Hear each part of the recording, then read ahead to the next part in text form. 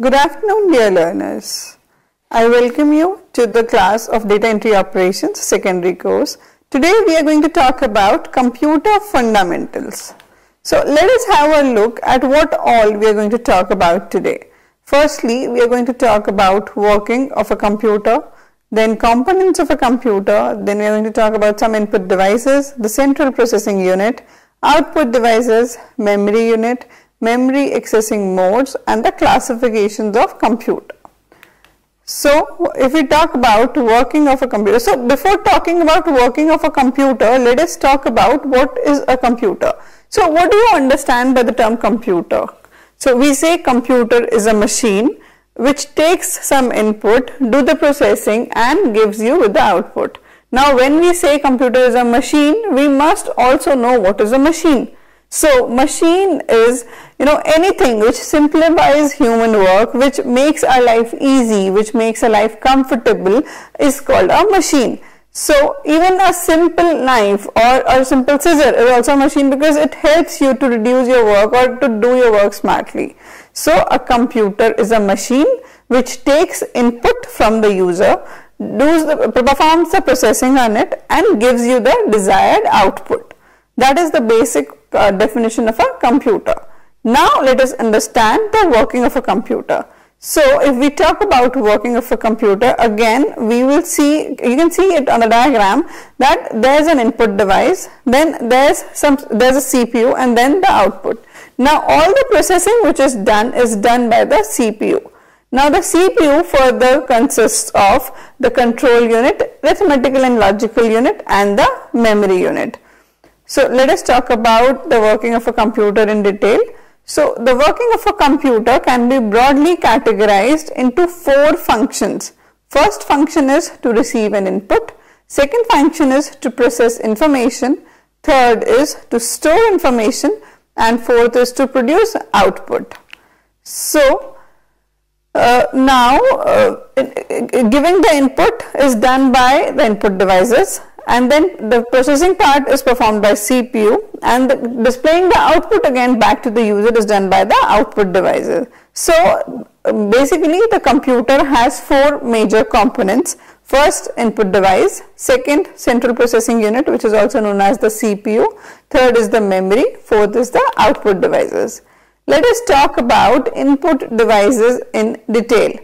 Now what, what are input devices? Suppose you know, if we talk about humans, if you compare yourself with the computer, then if you're talking to somebody, suppose your mother gives you an instruction that you get up and you know do some task or get ready for school or do anything, then uh, you are taking that input from uh, from your ears, right? Like you are hearing what your mother is saying through your ears. So you are taking that input from the ears. Similarly, input devices, you know, we give some instructions to the computer and they hear that uh, you know, they take that instruction from input devices.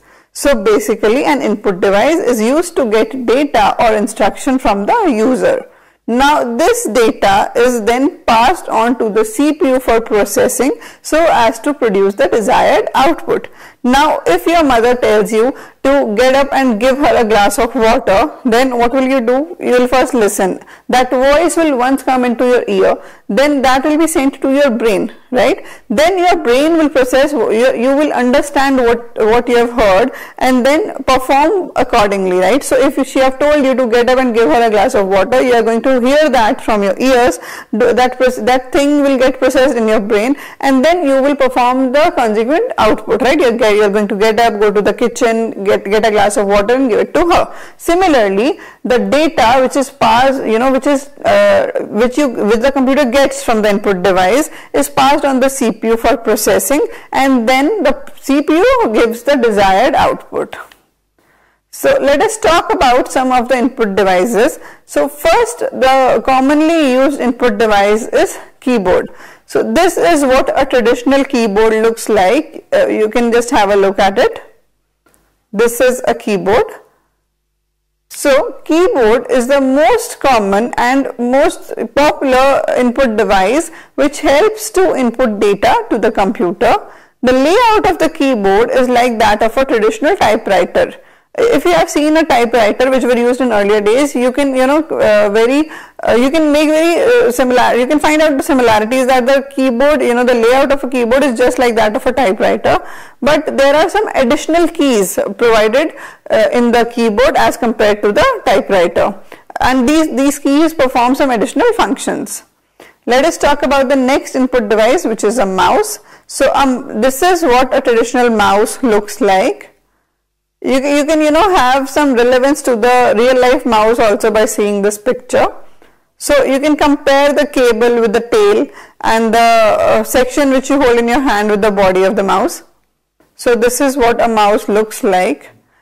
So a mouse is basically a pointing device that controls the movement of the cursor or the pointer on a display screen so as you move the mouse, the pointer on the display screen moves in the same direction. So this is how you hold the mouse. It is like the mouse is there and you gently, you know, just hold it. And whenever you move the mouse, you move the pointer on the display. It's uh, when you, you know, move the mouse, the point, there's a pointer on the screen. When you move the mouse, that pointer also moves in the same direction in which you move the mouse. So that was all about a mouse. And also I will like to tell you that you know a mouse is connected by a cable to the CPU. Similarly a keyboard is also connected to the CPU by a cable. So th these are used to give input to the CPU. The next input device is scanner. Now what does a scanner do? A scanner is an input device that can read the text or an illustration printed on paper translates that information, translates that, you know, uh, that image or the text which you have, it has seen on the paper into an information so that, uh, you know, com the, the computer can use that information. It is basically used for uh, reading the uh, text or the images on the paper and then translating it into a digital form. That is the work of a scanner. Now let us talk about optical character recognition OCR. So what does an OCR do? It is a device which is used for reading text from paper and translating the images into a form that the computer can understand. An OCR is used to convert books, magazines and other such printed information into digital form basically you know it is used if you have a hard copy if you have a paper printed or uh, there's something written there's some text in uh, some form of images or something and you want it in the digital form so that it can be used in the computer so OCR is used in that case. So it is it is a device which is used for reading the text from the paper and translating it into a form so that a computer can understand so next if we talk about is uh, uh optical mark recognition OMR. Uh, now OMR also called as mark sense reader it is a technology where an OMR device senses the presence or absence of a mark such as a pencil mark you if you have given any competitive exam or you know you must have seen somebody given so you know what they do is if there is a subjective type if there is an objective type question paper where there is one question there are four answers so what you have to do is you have to select one particular answer how does the response get submitted in that it is you get an OMR sheet on that OMR sheet the question number is mentioned with four bubbles and you have to select the bubble with the correct answer. So suppose the answer to question number one is second one. So you are going to fill the second circle with a pencil mark. So that OMR sheet is then read into a OMR, uh, you know, reader, which then, you know, uh, identifies that the student, uh, you know, it, it, then fastly calculates that how many answers are correct, how many are incorrect based on that OMR, based on that pencil mark, which is done on that OMR sheet. So it is you know widely used for assessing the objective examinations which involve the multiple choice questions. This is the most popular use of optical mark recognition. Next is a barcode reader. A barcode reader is a photoelectric scanner that reads the barcodes. The barcodes are the vertical strip black and white marks which are printed on the you know you, you can see the barcodes on maybe you can see on books or if you you know ever go to a, a, grocery store you must have seen that whenever the billing is done what does the shopkeeper do? He just simply picks the item. There's a code there's a barcode given on those items. He just scans it through the reader and the information of that product gets displayed on his computer. That information is like the quantity the uh, all the details like the pricing the date of uh, you know the date when it enter his grocery and the basic details related to those products. So it is just simply that when they scan that particular barcode, all the information related to that products, you know, get displayed on the computer. So it is basically a scanner that reads the barcodes and the barcode reader scans the barcode of the product and checks the description and the latest price of the product. So the next input device which we are going to talk about is light pen. A light pen is an input device that utilizes a light sensitive detector to select objects on a display screen. It is just a, uh, it is very similar to a normal pen which we which we use. It is just that there is a light sensitive detector on the tip of that pen and whenever you move that pen around the screen it selects that particular object which you are selecting on the display screen. It uses a light sensitive detector to do so, right? So that was all about the different different input devices. We have talked about keyboard we have talked about mouse we have talked about the scanner ocr omr and then the light pen. These were the different inputs. So there are various ways with which we can communicate to the computer with which we can give our input to the computer so that the computer can process that information now if we talk about processing, so the processing is done in the CPU as I told you earlier. So let us talk about the CPU now. So CPU is the brain of your computer. Any type of instruction given to the computer using any of the input device have to be sent to CPU for execution. Now, any typical CPU has three major components, the control unit, arithmetic logic unit and the memory registers. Now we are going to talk about all of these in detail. So the control unit. The control unit manages the instructions given to the computer. It coordinates the activities of all other units in the system by instructing rest of the components of the computer about how to carry out a program's instruction. Basically, the control unit is responsible for coordinating the activities of all the other units, all the other devices which are connected to the computer. You can say that control unit is just similar to the nervous system of human body as it coordinates the overall coordination of the body parts. Similarly, the control unit coordinates the activities of all other units in the computer.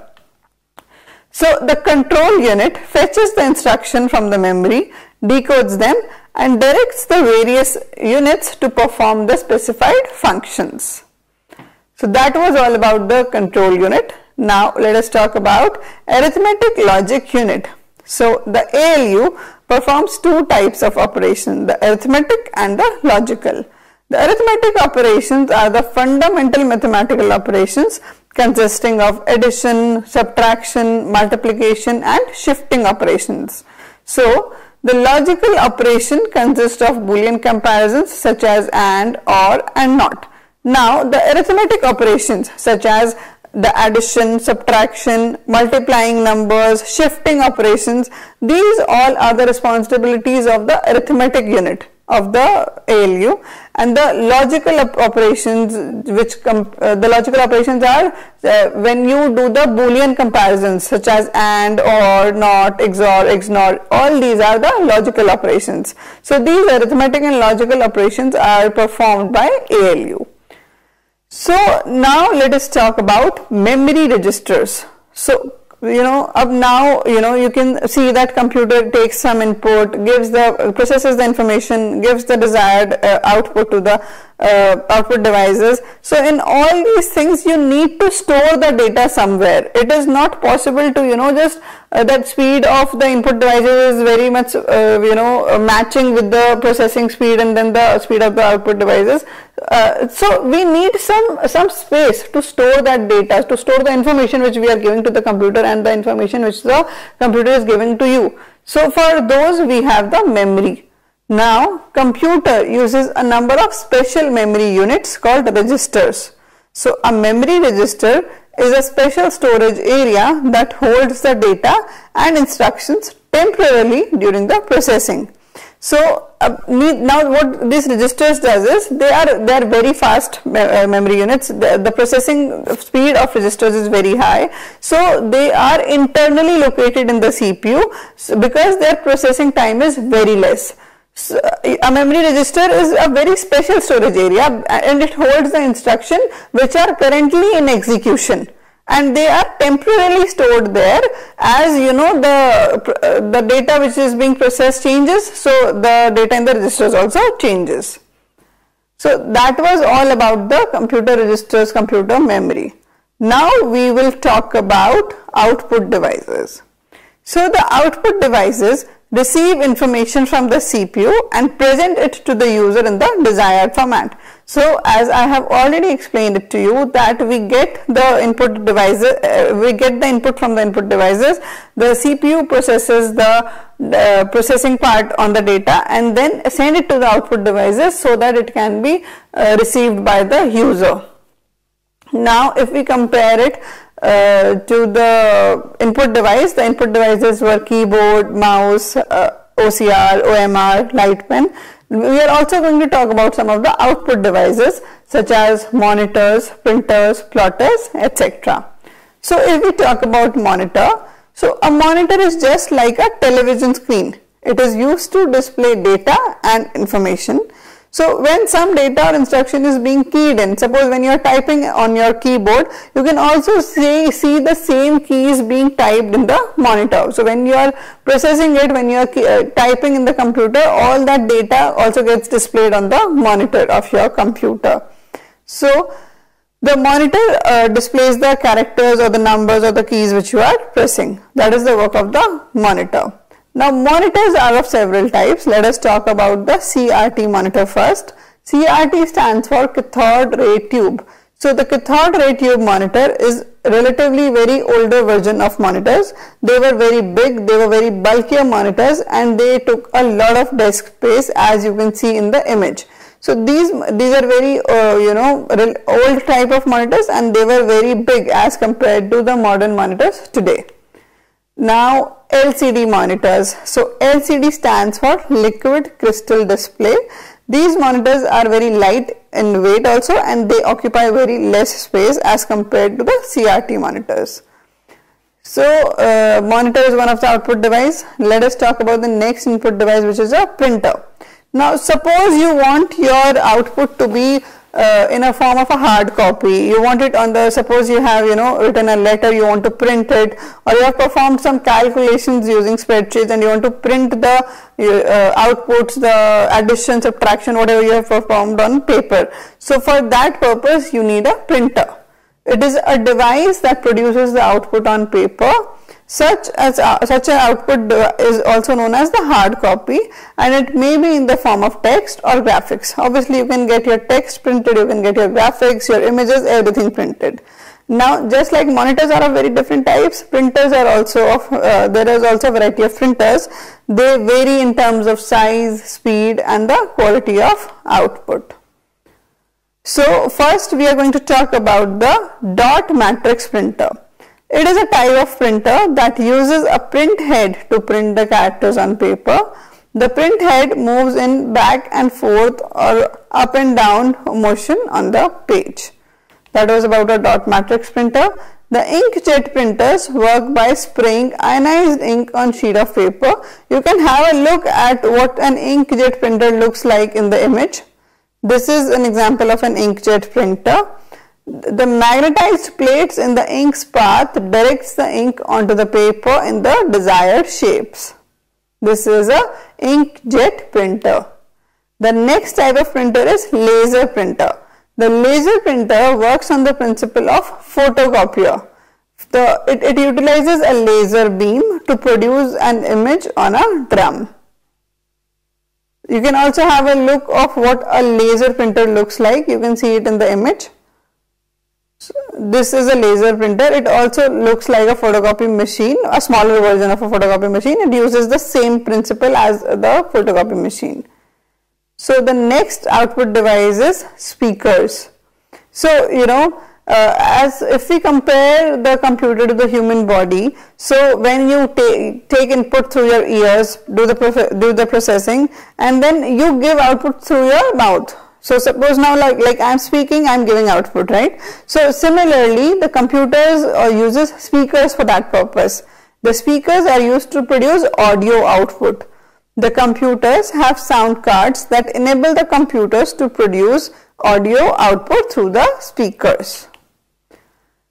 So that was all about the output devices. So now we are going to talk about the memory unit but after a short break.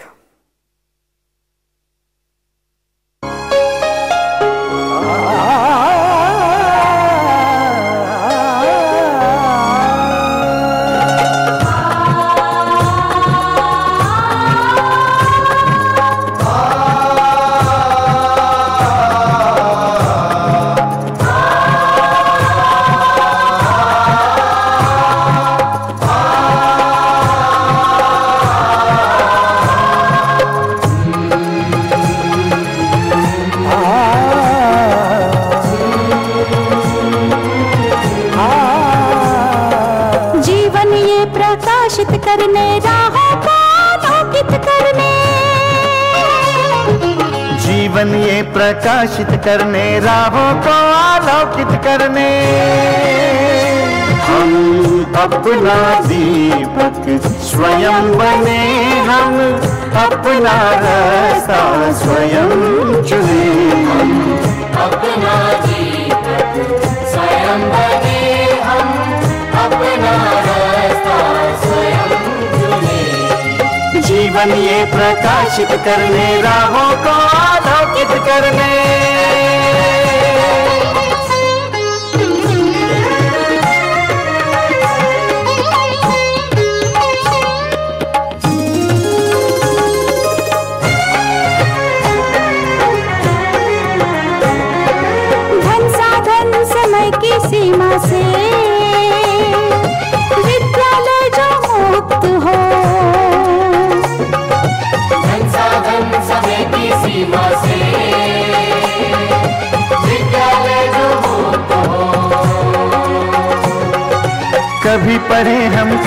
padres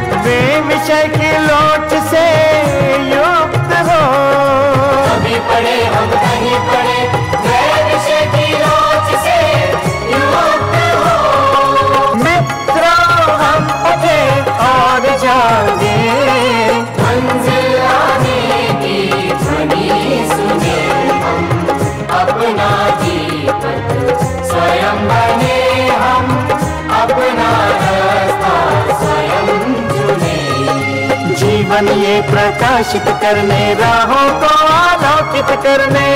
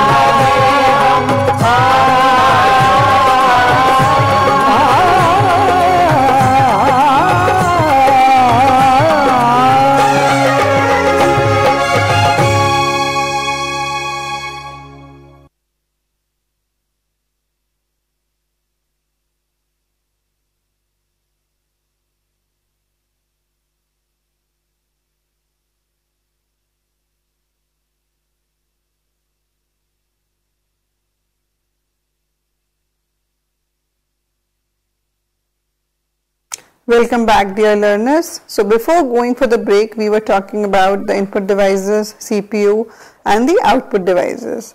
Now we are going to talk about the memory unit. So there are two kinds of computer memory, primary and secondary. Primary memory is the memory which is accessed by the processor directly. The operating speed of primary memory is it should be very fast, it should be as fast as possible so as to cope up with the CPU speed. The processing speed of CPU is very high. That's why we need a special memory which is the you know primary memory so that it's uh, the speed of the primary memory is very high as compared to the secondary memory so that it can cope up with the processing speed of the CPU. So these high speed storage devices are very expensive. So the storage capacity of the main memory is also very limited. Now, often it is necessary to store hundreds or millions of bytes of data for the CPU to process. Therefore, additional memory is required in all the computer systems. This additional memory is called as the auxiliary memory or the secondary memory. Now, if I talk about primary memory, primary memory is of two types, RAM and ROM. RAM, random access memory, is the type of memory in which it is possible to randomly select and use any location of the memory directly to store and retrieve data. RAM is also known as the read-write memory. RAM is volatile in nature, so the data from RAM is lost as soon as the power to the computer is switched off. Suppose you are working, the, there's some data in RAM and when you switch off your computer then there will be no data in the RAM. It will be again filled with data when you start processing with something. So it is volatile in nature. ROM is another type of primary memory from which the data can only be read. You know, you can only read the data from ROM, you cannot write and you cannot modify the data in the ROM once it is written. ROM is non-volatile in nature and there are various types of ROM. First is programmable ROM, programmable read-only memory. Next is erasable programmable read-only memory. It can be erased once written. And the next is electrically erasable. The data in the ROM can be electrically erased. These kind of ROMs are called electrically erasable programmable read-only memory. That was about the RAM and ROM. Now cache memory. So to increase the performance of CPU, a small memory chip is attached between the CPU and the main memory whose access time is very close to the processing speed of the CPU. This memory is called as cache memory. Cache memories are accessed much faster than the conventional RAMs. So now if you talk about the processing speed of memories, it would be in the increase in the decreasing manner of cache memory. The cache memory have the highest processing speed. Then the primary memory, the speed of primary memory is lower than the cache memory and then the secondary memory. The secondary memory is the largest in space and the slowest in processing. So it is this way, right? Now secondary memory, uh, in this type of memory the cost per bit of storage is low as compared to the primary memory but the operating speed is slow than that of a primary memory. So huge volume of data are stored here on permanent basis and transferred to the primary storage as and when required. For, for permanent basis, we need secondary memory. So whenever there is a requirement, that data is transferred to the primary memory for execution and uh, vice versa. So the most widely used secondary storage devices are hard disks, CDs, DVDs and pen drives. Now we are going to talk about memory accessing modes. An addressing mode refers to the manner in which a given memory location is accessed. Commonly used memory accessing modes are direct access or the random access mode or the sequential access mode. So let us talk about the random access first. It is the type of the accessing mode in which the values to be stored in a particular memory location is obtained directly. So since the data can be accessed in any order, that is why this type of memory access is also known as a random access of memory. This type of memory access is generally fast and more flexible. Sequential access, it is the type of memory in which the stored data is read in sequence. That means if you want to display the fourth record, the reading will start from the first record, then move to second, then to third and finally to the fourth record. This type of memory access can be very time consuming and hence slow.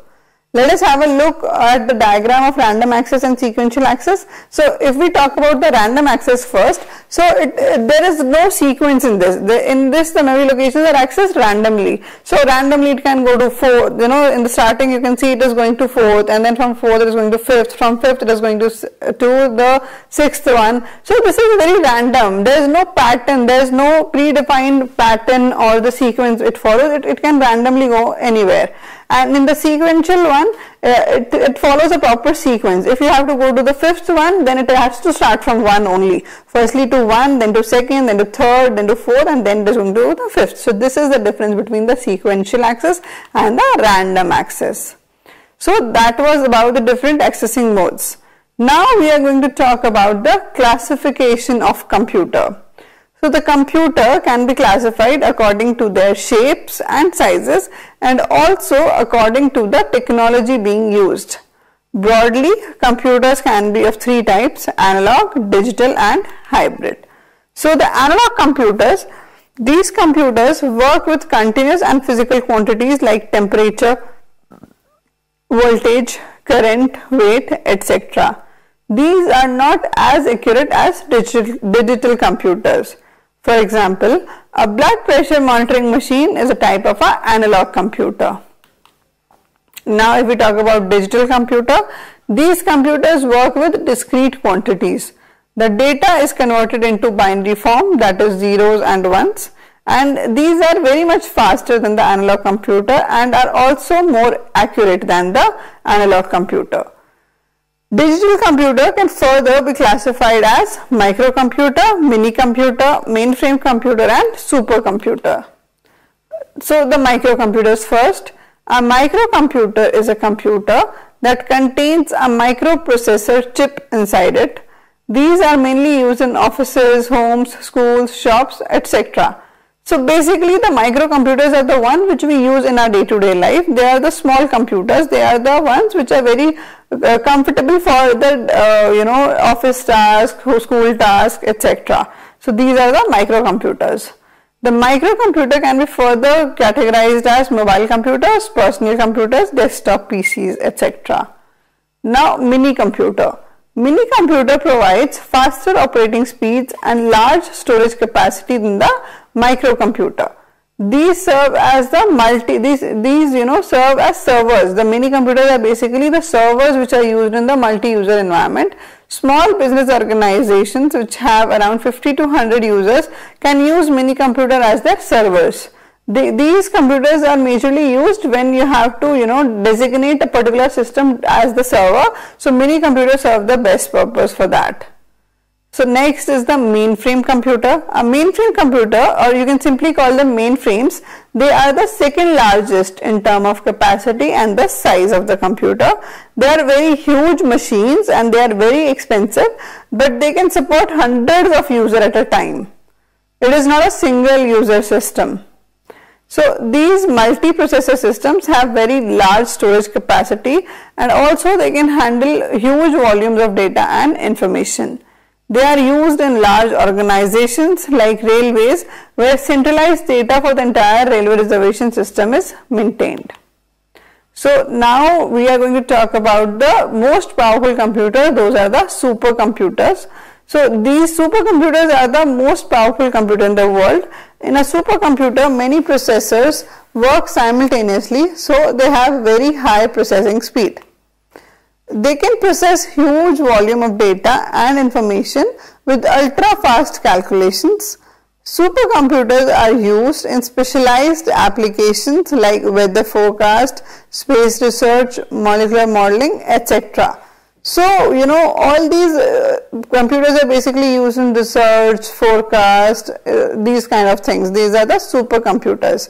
The computers which we use in our day-to-day -day life are the, uh, they are the uh, they are the ones which are small in size, which you know which do not require these high volume processing speed, the high volume of data. They do not require uh, you know of the capacity which a supercomputer have. So supercomputers are comparatively very expensive also.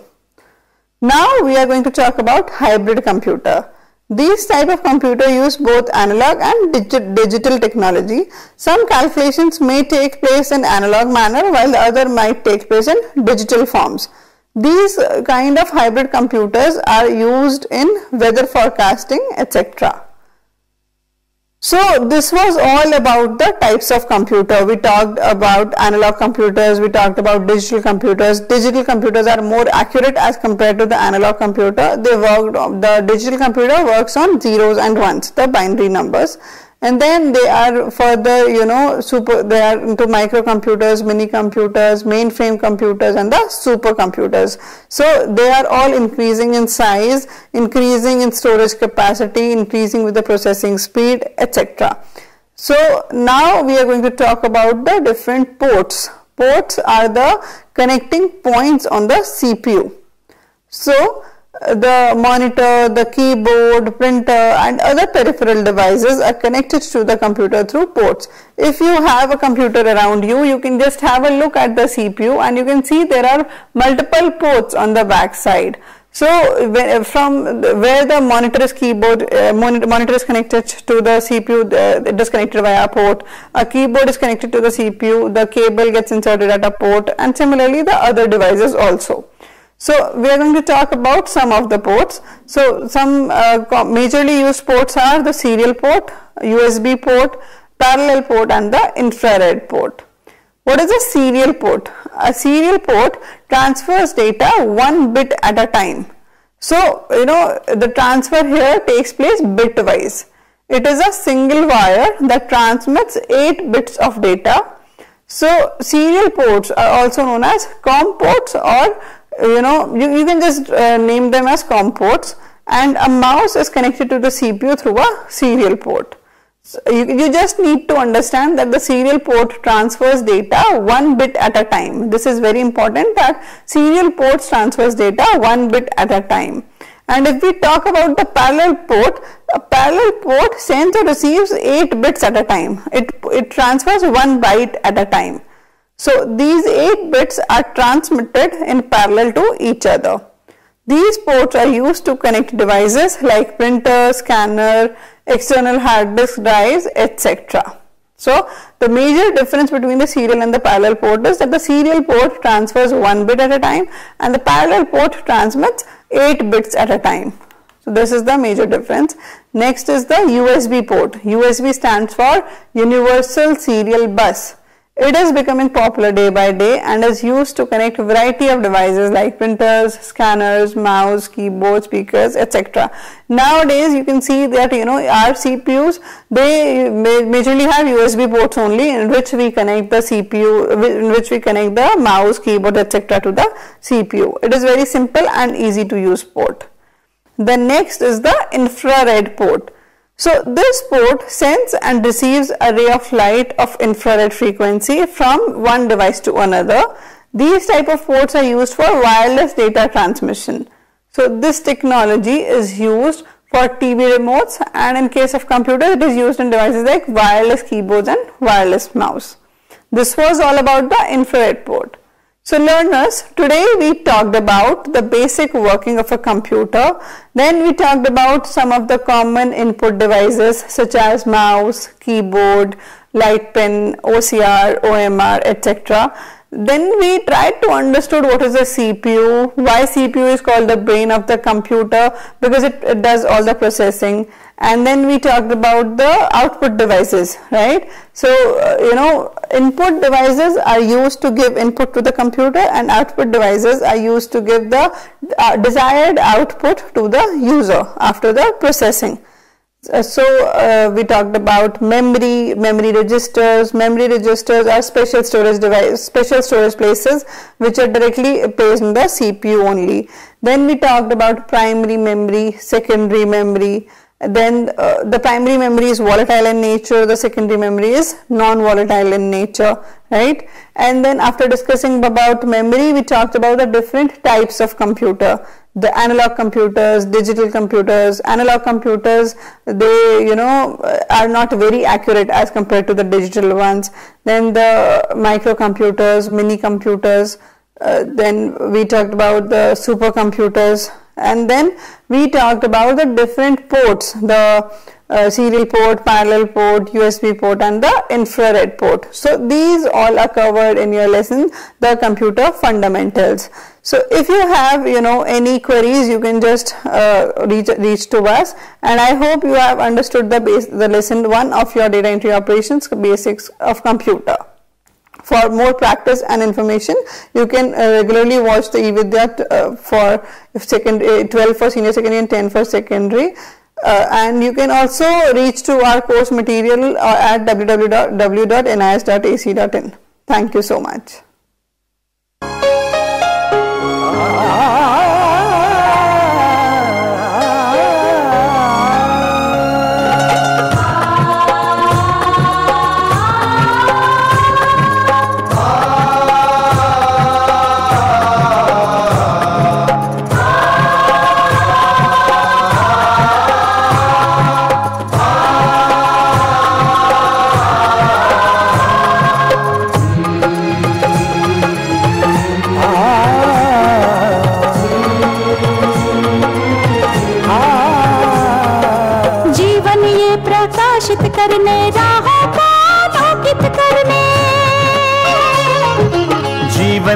प्रकाशित करने, राहों को आलोकित करने।